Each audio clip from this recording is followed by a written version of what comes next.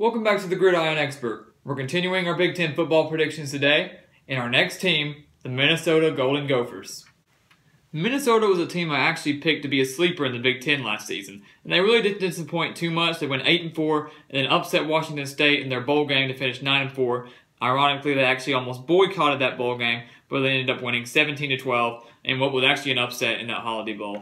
Uh, this season, they get PJ Fleck, uh, a head coach. He moved over from Western Michigan, so a lot of expectations are pretty high for the Golden Gophers. We know he's going to bring the intensity. He was one of the hottest coaching names last season, other than Tom Herman, who went to Texas.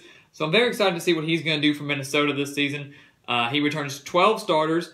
They do lose their quarterback in Mitch Leidner, though, but they return Demry Croft at quarterback. He's a sophomore. Uh, Mitch Leidner was a guy that I thought was really going to take some strides last season and really uh, a lot of people at Minnesota, but he didn't. Uh, he kind of stayed about where he was, average, and that was a little disappointing. But hopefully they'll get uh, different results from Croft this season. He's very young, so hopefully he can progress uh, through the years. But PJ Fleck, uh, I think, has a lot of high expectations for Minnesota, a lot of excitement, and I'm very curious to see how they're going to do this season, his first year.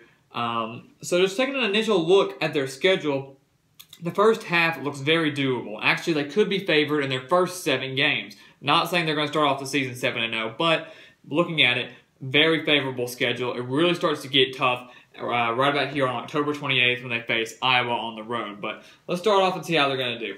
So they face off Buffalo in the first game. Shouldn't be a problem. Shouldn't be any issues for Minnesota. That's going to be a great first game for PJ Fleck uh, to kind of get his feet wet in the Big Ten, just to kind of see what his team's looking like they should be able to work out any problems they have against Buffalo uh, in preparation for this Oregon State game. His first true game against a uh, Power 5 opponent since he came to Minnesota. And this was a game that I originally marked down as a Minnesota victory.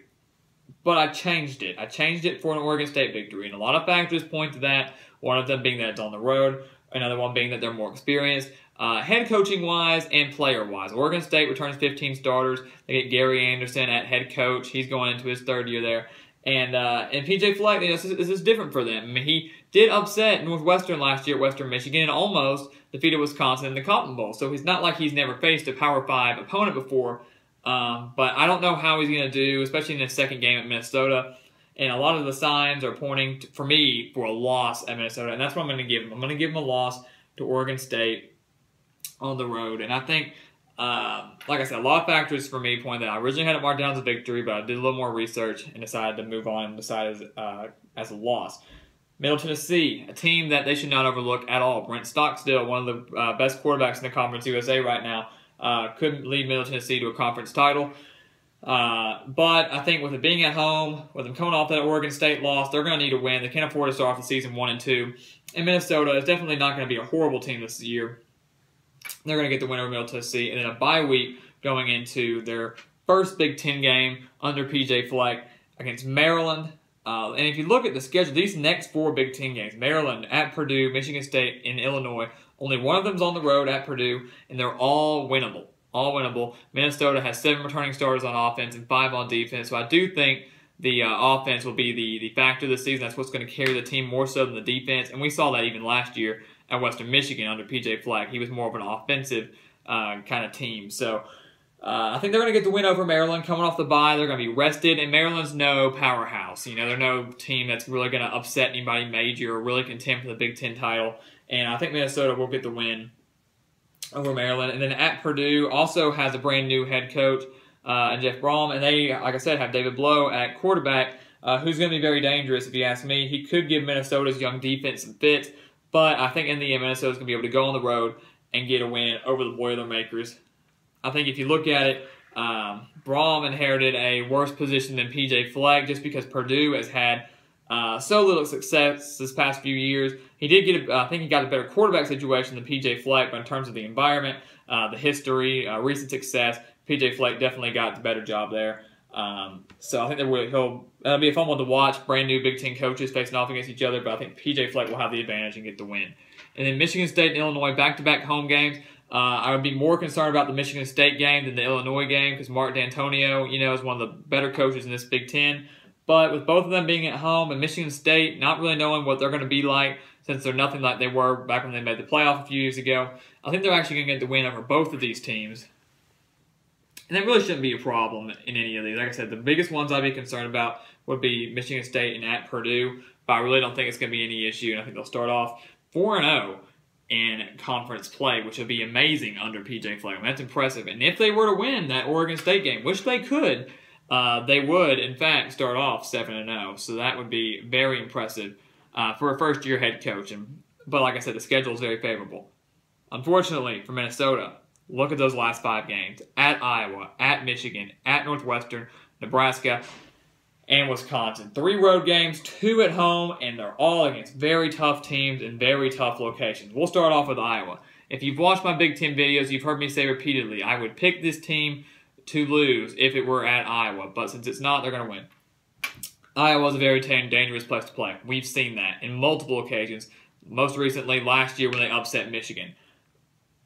You know, this season, I think Minnesota going to Iowa, they're going to be riding high. You know, they're going to be six and one. Uh, undefeated in conference. Iowa, middle of the pack, We'll have a few conference losses by this point, but I think Iowa's going to end up getting uh, getting the best of the Golden Gophers in this one.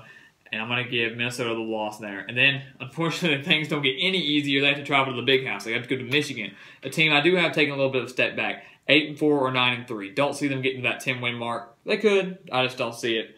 Uh, but Michigan, nonetheless, still going to be a very dangerous team, very difficult team led by Jim Harbaugh. We all know that. Um, so we're going to have to see how that goes. But I don't think Minnesota will be able to go on the road and upset the Wolverines at home. I just don't see that happening. That would be a shocker if you ask me if they went on the road to Michigan and won. So another loss there. They need to stop the bleeding, and it's not going to come in Northwestern or Wisconsin, but I do think they'll get the win over Nebraska. It's a home game after back-to-back road games. Like I said, they really need to stop the bleeding in this one, and I think they'll get the win over Nebraska. Nebraska is more of a younger team. Uh, actually, Michigan is least experienced, more not as experienced as Nebraska, but is at home, and Nebraska is still very young, breaking in a new quarterback and everything. So I think Minnesota will get the win over the Cornhuskers and stop that bleeding just for a little bit, though, because then they face the top two teams in the West at Northwestern and Wisconsin. Um, Northwestern, uh, led by a very dynamic quarterback and running back. Uh, Pat Fitzgerald's done a great job there. And with it being on the road in Northwestern, potentially playing for a New Year's Six bowl berth, don't see Minnesota going on the road and upsetting them. And then Wisconsin in the final game of the season, rivalry game. This could be one of those things where Minnesota and PJ Fleck pull off one of the biggest upsets of the year and upset Wisconsin in the final game. I just don't see it though. It's at home, so that does benefit them, and they really don't have much to play for. They're just playing for a better bowl berth. Wisconsin will be playing for a Big Ten championship appearance, and I think Wisconsin, knowing that's what they're playing for, and um, having more higher of a stakes than Minnesota, I think Minnesota will end up getting the loss and Wisconsin with the win. And actually, Minnesota will finish the season seven and five, in my opinion, which is not bad at all. for a first-year head coach in a Power Five conference like this, with a not as experienced team with only 12 returning starters, that is not bad at all. And as a Minnesota fan, I would be happy with that. I would not be happy with the fact that we started six and zero or six and one and then only won one game after that, that would be very disappointing. But they do have to realize that those last five games are just brutal, with three of them being on the road in very tough locations. Uh, so I think seven and five is very reasonable, and that would be a great first year under PJ Fleck. He would have the Golden Gophers heading in the right direction, even though it is a step down from last year's nine and four record. Uh, that would be huge for Minnesota to go seven and five this season. So I'm very excited to see how he does. I know a lot of people are going to be watching Minnesota this season because of PJ Fleck. Uh, so we'll just have to wait and see. But I'm very excited to watch the Golden Gophers and see how they fare this season. So please stay tuned on the Gridiron Expert. Please continue to like, comment, subscribe, and please continue to share our videos. The more you share, the more likes, comments, and subscriptions we get, and it just it just helps us out so much. So we really appreciate it. And we'll see you next time on the Gridiron Expert.